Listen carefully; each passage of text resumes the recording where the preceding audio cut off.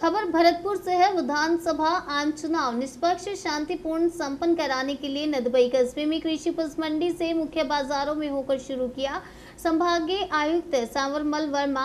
IG Rupendra Singh, जिला collector lock बंधु, जिला पुलिस अधीक्षक मृदुल कच्छावा के नेतृत्व में कस्बे में अर्धसैनिक बल की कंपनी एवं पुलिस के जवानों के साथ फ्लैग मार्च निकाला गया।